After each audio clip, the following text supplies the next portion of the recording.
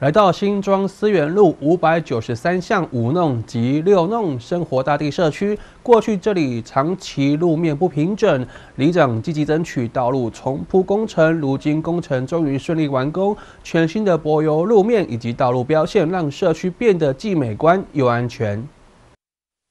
来到新庄思源路五九三巷及五弄六弄，也就是生活大地社区这边，可以看到全新的柏油路面及道路标线。但过去这里长期路面不平整，多处坑坑巴巴，不仅不美观，对许多长辈来说也隐藏危机。呃，路面哦，常常会有很多的杂物，甚至啊，在呃许多长者他们在走路的时候，都会发现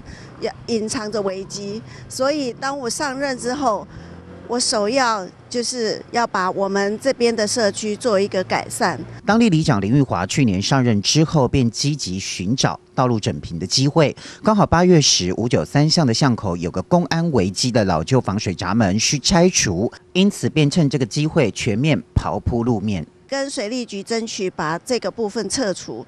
那这这个撤除是大概是八月份的事了哈，一直延伸到后面呢，他觉得这个撤除掉以后，这个路面还是需要再过做一些整理，因此呢，呃，我就趁这个机会啊，跟相关的单位说，哎，我们整个社区是不是可以一致性的把它重新刨铺？经过长时间的努力，在市府及工作人员的施工下，终于把相连的三条巷弄全面整平。我们终于在十一月二号、三号把整个社区的路面都刨铺整理完毕。现在看起来就是感觉非常的幸福，然后我们走在路上觉得轻飘飘、好舒服的感觉。以前路无盖好势，啊，今麦婆婆盖漂亮，搁很整齐。